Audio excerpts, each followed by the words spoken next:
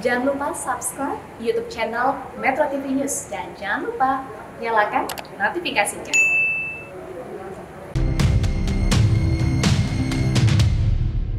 Anda menyaksikan News Line Plus kali ini bersama saya Jason Sambo. Pemirsa, urbanisasi terus meningkat dari 270 juta penduduk Indonesia, 60 persen di antaranya nantinya akan tinggal di perkotaan.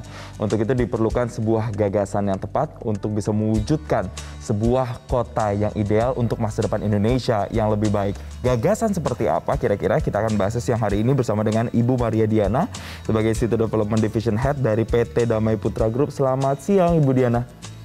Terima, terima kasih sudah hadir di Metro TV dan juga ditemani ada Bapak Tori Damantoro, peneliti Instran, Institut Studi Transportasi, dan juga sekaligus Ketua MTI Masyarakat Transportasi Indonesia Wilayah DKI Jakarta. Selamat siang Pak Tori. Selamat siang. Baik, terima kasih Pak Tori dan juga Bu Diana sudah uh, bersama-sama dengan saya di sini. Mungkin saya pertama mau ke Bu Diana terlebih dahulu. Boleh silakan. Berbicara Pak. terkait dengan gagasan kota masa depan. Mengapa kita Indonesia perlu memiliki gagasan kota masa depan, Bu Diana? Oke, kalau kita bicara kota masa depan, nah kita bicara kota itu ada dua aspek. Yang pertama adalah aspek fisik, hmm. itu terkait dengan lingkungan, terkait dengan bangunan. Dan yang kedua adalah aspek non fisik. Hmm. Nah, aspek non fisik ini kita bicara terkait dwellernya, hmm. penghuninya, manusianya. Hmm.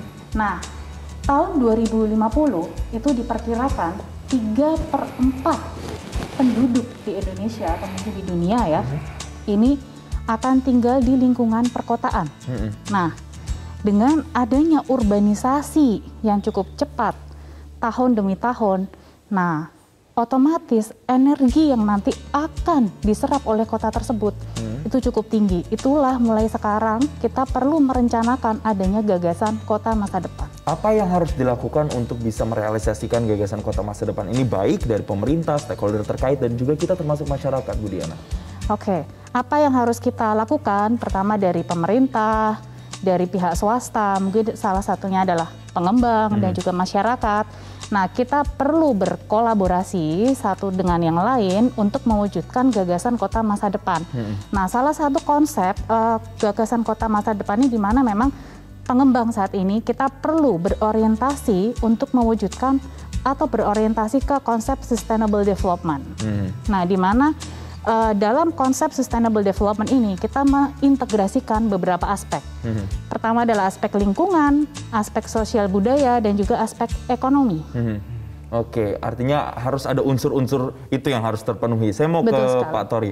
Ada unsur sosial, ekonomi, memenuhi SDGs juga. Ya. Elemen-elemennya sebenarnya atau standarnya apa sih Pak untuk bisa dikatakan kota ini uh, memiliki gagasan kota masa depan yang ideal, Pak Tori? Ya, baik.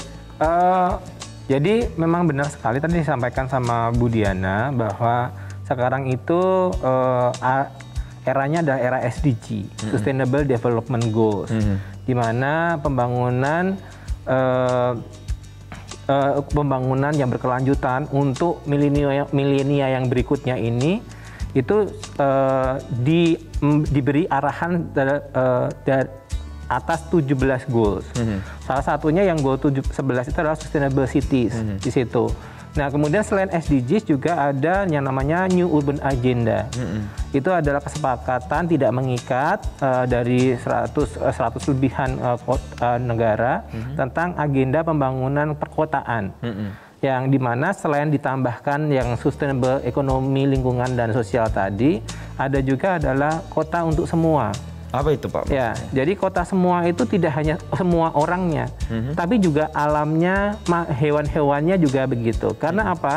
Karena ketika nanti 3 per 4 penduduk dunia itu ada di urban, urban itu nggak akan uh, berhenti satu wilayah saja. Mm-hmm. Dia akan terus berkembang. Mm-hmm. Berarti kan ada bentang alam yang akan di, dibudidayakan oleh manusia, dibikin, dibangun ya, dibangun fisiknya.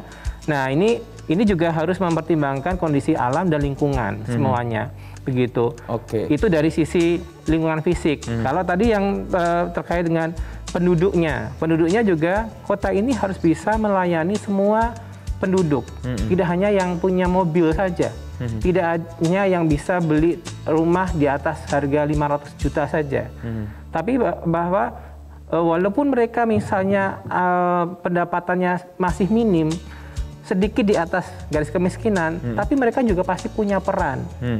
Karena semua itu kenapa mereka itu berkelindan satu sama lain, menjadi eh, saling menggenapi satu sama lain. Nah, ini kota harus memberikan eh, layanan kepada seluruhnya itu. Oke. Nah, kalau ditanya adalah apa sih eh, eh, apa komponen-komponen dari kota masa depan ya? Yang pertama adalah kompo- kota ini harus eh, mempunyai konektivitas yang baik. Mm-mm. Konektivitas terhadap eh, dengan dengan kota-kota yang lain, dengan kegiatan-kegiatan ekonomi yang lain, sehingga penduduk kota ini tidak terisolasi. Mhm. Kemudian yang kedua adalah aksesibilitas. Nah ini adalah perannya transportasi. Oke. Jadi masyarakat bisa mengakses aksesibilitas itu tidak hanya untuk disabilitas atau penyandang cacat, tapi akses masyarakat kepada informasi, akses kepada kegiatan ekonomi yang ada di kota situ, kegiatan budaya, sosial, seni itu bi- harus bisa diakses dengan mas- eh, dengan baik oleh ma- masyarakat, Oke. sehingga masyarakat itu bisa hidup di dalam kota dan terpenuhi semua kebutuhannya. Oke, jadi bukan Gitu. semata-mata satu kota punya banyak gedung tinggi, kemudian masyarakat berpenghasilan tinggi, bukan itu, Enggak, tapi iya. banyak sekali dan Iya, sangat kompleks betul. Elemen-elemennya bahkan termasuk Betul. dari sisi transportasi dan aksesibilitas Iya. yang sudah tadi Bapak sebutkan. Gitu. Kalau kita berbicara soal kota-kota yang ada di Indonesia ini kan sungguh banyak. Nah, Mm-hmm. ini dari sekian banyak kota-kota mana saja sih Pak yang bisa dibilang sudah mendekati lah eh, gagasan kota masa depan? Oke, kota masa depan. Saya ngelihatnya kota masa depan itu sekarang sudah mulai digagas oleh masyarakat, oleh eh, eh, at- apa pemerintah pemerintah kota ya di Indo- di Indonesia. Jadi saya melihatnya selain mereka tetap melakukan PR untuk perbaikan infrastruktur, karena infrastruktur itu kan dasar ya. Eh, mereka harus benar-benar memberikan air yang baik, kemudian listrik yang eh, listrik yang nggak mat- ngati atau kemudian jalan yang bagus, nggak bolong dan sebagainya. Nah, tetapi juga mereka sudah mulai menata eh, kotanya dengan tamannya diperbaiki, kemudian taman-taman disediakan, tanah-tanah kosong kemudian diolah begitu. Nah, saya melihat eh, yang sudah mulai mengarah ke sana, bahkan sebelum Jakarta itu adalah kota Surabaya Oke. Ya Surabaya dengan kondisi yang kecil begitu ya penduduknya cuma 3 juta gitu. Tapi mereka sudah berupaya untuk menata. Mhm. menata semuanya ditata dengan baik. Pedestrian pertama kali juga sebenarnya di Surabaya. Oke. ya baru kemudian eh, gaungnya memang kalau sudah ke Jakarta gaungnya baru nasional gitu kan. Nah sekali. itu.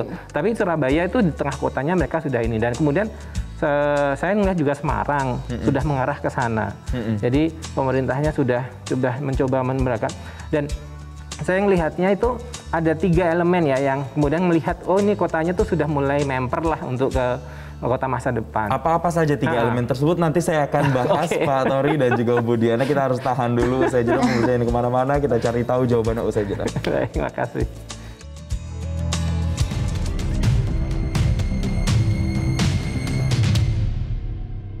didukung oleh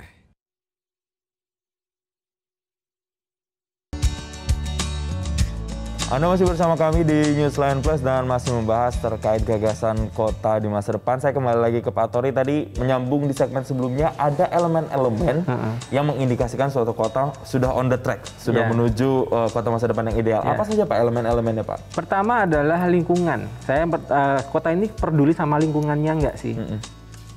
Pohonnya dirawat nggak? Tamannya dirawat nggak? Jalan-jalannya ada ada taman-taman kecil nggak gitu?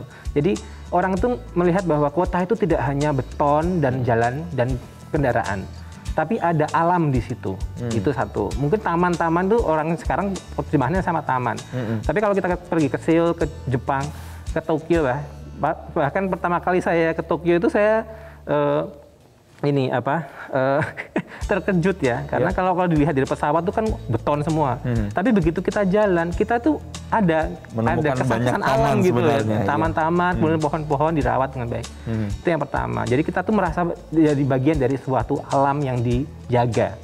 Yang kedua itu adalah pedestrian ya. Untuk menikmati alam yang bagus itu pedestriannya juga harus bagus. Kita nggak mungkin jalan-jalan dengan jangan nyaman kalau pedestriannya nggak bagus. Dan harus aman juga ya Pak iya ya? dan juga aman gitu. Dan yang ketiga itu adalah kaitannya dengan konektivitas aksesibilitas. Nah saya melihatnya hanya sedikit kota kota yang pemerintahnya itu mau ngasih subsidi angkutan umum. Padahal angkutan umum itu penting. Mhm. ya tidak semua mas tadi ya sudah kita katakan bahwa semua masyarakat itu harus bisa terlayani. Hmm. Kalau kita cuma menyediakan jalan semulus apa pun, yang bisa tuh hanya yang minimal punya motor. Harus semua kelas ekonomi Iya, semua harus itu harus bisa dilayani Nah, ya, Pak. kalaupun ke semua, oh semua jumlah motor sekarang tuh sudah lebih dari satu satu banding satu kalau di Jakarta misalnya. Tetapi kan ada orang yang tidak bisa karena usianya atau karena kemampuannya tidak bisa naik motor gitu. Nah itu kan juga harus disediakan. Ya, Nah, itu. subsidi untuk transportasi ini Kenapa kemudian subsidi yang benar penting? Karena subsidi itu adalah terkait dengan kualitas. ya? Kalau nggak berkualitas ya nggak susah. Oke, saya mau ke Bu Diana. Bu Boleh, Diana, menggagas kota masa depan tentu dengan Indonesia yang setiap kotanya punya karakteristik berbeda-beda. Apa tantangannya, Bu? Apa yang masih jadi PR? Salah satu tantangan eh, untuk menerapkan konsep kota masa depan, nah itu adalah salah satunya da- ancaman dari global warming. Hmm. Nah kalau kita tadi berbicara terkait lingkungan ya Pak, Mm-mm. nah kita bi- berbicara terkait transportasi massal yang disubsidi oleh pemerintah. Nah ini sebenarnya related dengan air pollution, polusi udara.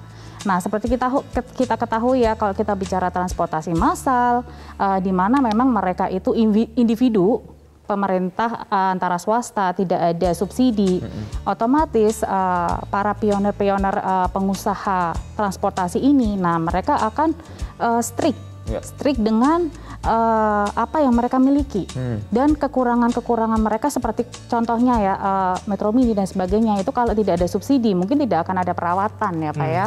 Nah otomatis dengan tidak adanya perawatan, nah impactnya ke mana? Impactnya adalah ke polusi udara. Hmm. Nah kebayang kalau namanya kota sudah lingkupnya itu ke betonisasi, bukan lingkupnya lagi ke lingkungan. Alam nah ke ya. alam. Nah itu pasti berasa sekali karena namanya kota ya itu pasti butuh ruang untuk bernafas. Hmm.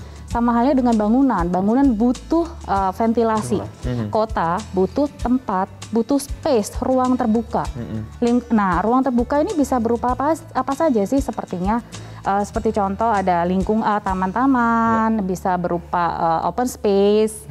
Nah, Bantaran ruang uh, betul bantaran sungai. Nah, sekarang yang perlu kita bahas di sini adalah bagaimana uh, kota-kota masa depan itu bisa mengakomodir open open area dalam perkotaan. Oke, ini Ya, jadi- lingkungan sangat Betul, jadi bukan betul. nampaknya. Jadi kita tidak bisa hanya fokus ke dalam uh, bangunan saja, Ya. tetapi antara fisik dan non fisik itu harus balance. Mhm. Karena ini terkait juga dengan polusi udara tadi Betul Bu Diana bilang sekali. dan juga tentunya kesehatan masyarakat Betul, yang tinggal di kota betul, tersebut Bu Diana. betul. Apalagi sekarang kita tahu uh, pandemik ini sebenarnya uh, mengingatkan kita. Mhm. Jadi bagaimana kota itu harus melakukan shifting, Mhm. reborn. Mhm.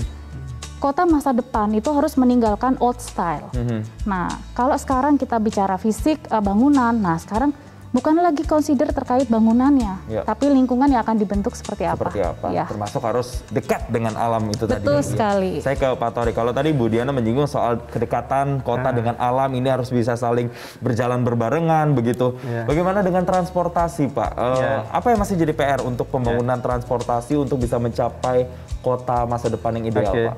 Yang pertama adalah saya melihatnya sekarang ini eh, pemerintah kota itu kedodoran dalam menyelenggarakan transportasi. Hmm. Kalau dulu itu ketika belum ada saingan motor dan kemudian pendapatan eh, level pendapatan juga masih eh, men- eh, masih minim ya untuk masyarakat, itu angkutan umum sangat diminati Hmm. dan kemudian tanpa subsidi, tanpa ada perencanaan yang matang, para operator angkutan umum bisa berjalan dengan baik gitu, bisa berjalan sendiri lah istilahnya gitu. Tapi ketika sudah ada eh, persaingan, kan persaingan itu harus kemudian di ken- eh, dikontrol, di manage lah. Jangan sampai kemudian satu mema- mematikan yang lainnya. Nah ini yang eh, pemerintah eh, pemerintah kota banyak yang gagal Mhm. begitu.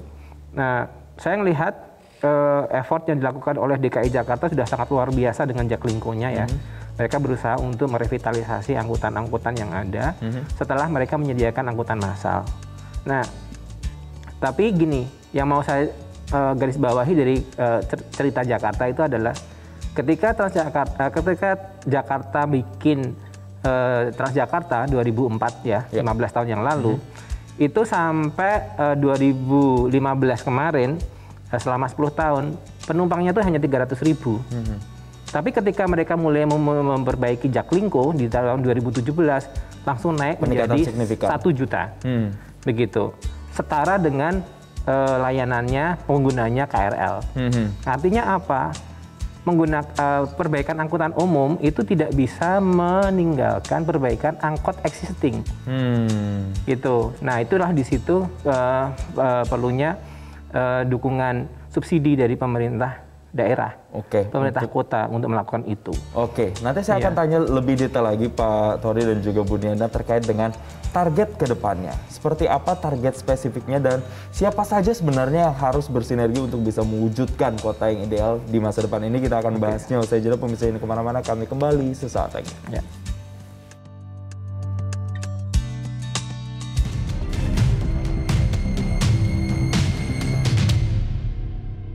Didukung oleh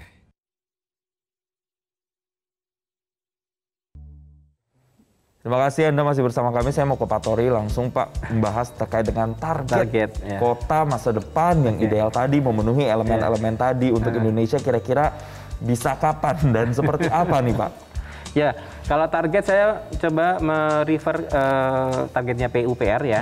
Cipta Karya itu dia 100 eh, kosong 100 gitu. Maksudnya apa Pak? 100% eh, akses ke sanitasi ya. eh, kemudian 0% eh, kampung selam, kampung kumuh gitu dan kemudian 100% eh, air bersih. Itu itu itu target yang dari Cipta Karya gitu ya. Mungkin itu juga bisa menjadi target nasional. Selain yang SDGs karena kita juga sudah ada rencana aksi nasional untuk SDGs. Kalau yang tadi eh, polusi dan sebagainya kita ada rencana rencana aksi nasional eh, perubahan iklim. Ya, eh, jadi mengurangi polusi udara. Nah, di transportasi eh, di perkotaan itu transportasi adalah yang eh, yang utama Punya peran penting peran utama eh, disusul dengan industri dan energi Mhm. ya karena kan eh, kebutuhan energinya kan tinggi sekali Mhm, itu mungkin target-target itu sudah sudah ada semua pengurangan eh, emisinya 26% Mhm. kemudian untuk SDGs kita pengen ada berapa kota yang kemudian sudah memenuhi SDGs gitu Mhm. ya, selain yang 100 100 itu tadi Hmm, hmm. gitu Oke, saya mau ke Bu Diana. Bu, kalau kita bertanya siapa yang harus kemudian saling bergandengan tangan untuk bisa bersinergi mewujudkan kota masa depan yang ideal ini siapa saja? Bu, karena tadi waktu break Ibu sempat bilang penggagas tiap kota sebenarnya sudah ada. Program-programnya bagus, tapi di tengah jalan maintenance-nya tidak jalan. Nah, ini seperti apa Bu kira-kira? Oke, kalau kita bicara eh, terkait rencana kota masa depan dan siapa yang harus memanage, nah kita bicara adalah semua yang terlibat, stakeholder yang terlibat. Seperti contoh saat kita bicara eh, kota Semarang, kota Surabaya, atau bahkan kota Solo. Solo, ya. kalau kita lihat eh, para pemimpin masing-masing dari kota itu, mereka mempunyai eh, ide, ide yang sangat hebat.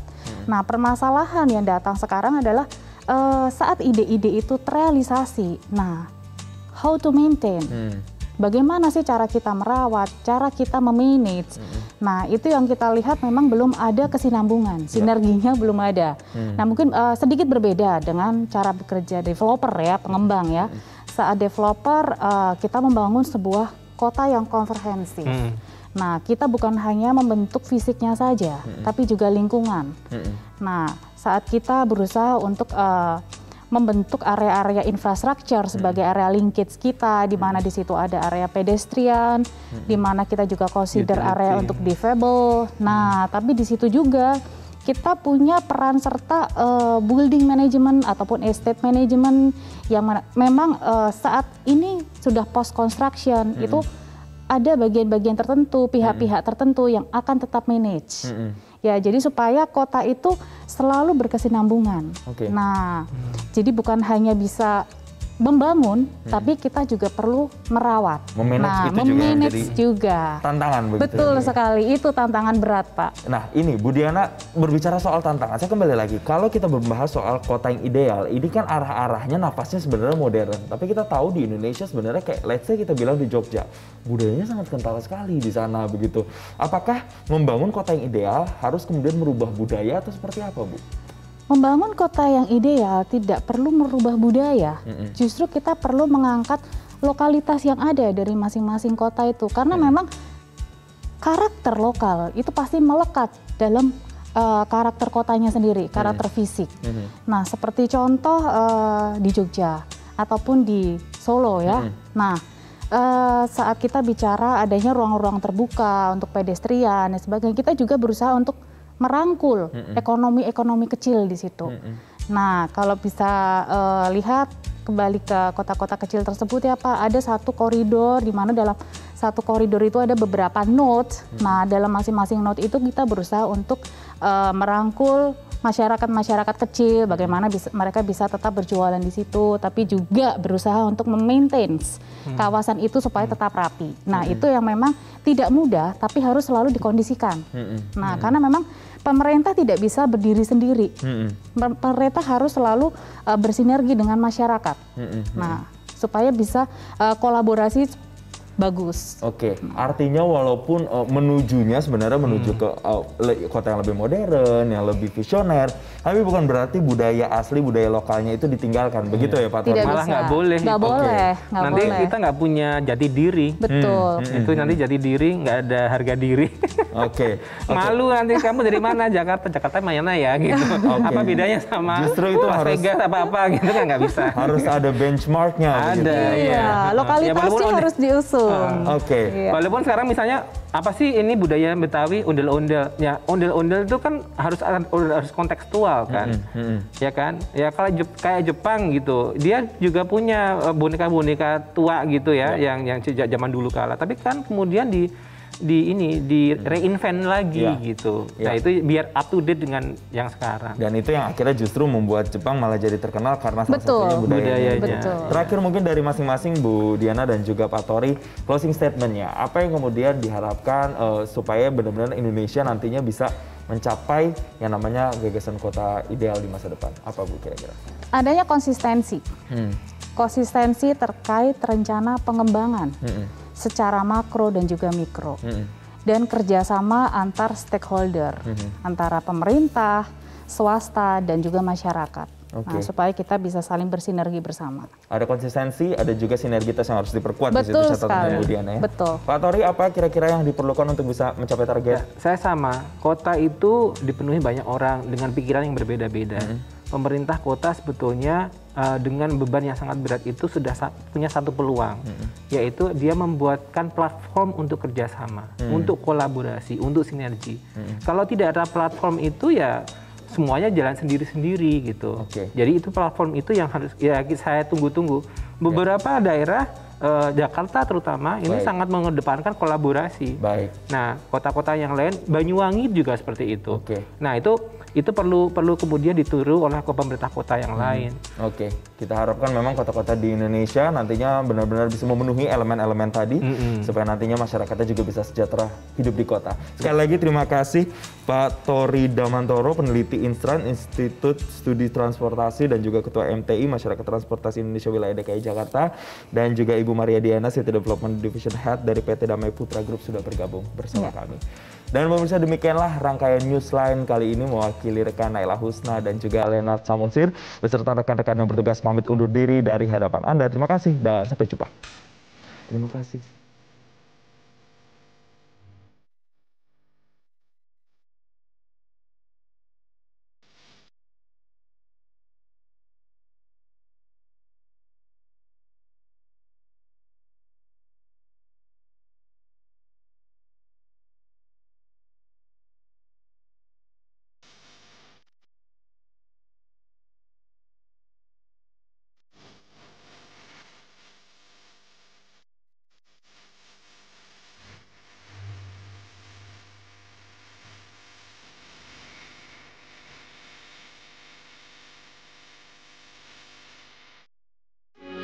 TV, knowledge to elevate.